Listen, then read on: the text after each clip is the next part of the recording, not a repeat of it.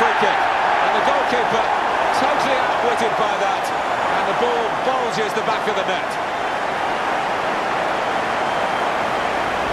It's hit the inside of the post and in. Well, it was a really good effort. I think he deserves that little bit of luck. Well, here it is, this controversial move to goal line technology. We need it for this incident, Alan. Yeah, it'd be interesting this. I thought it was over the line, you know. It happened so quickly, the human eye can't catch it, but this technology can. Clear goal.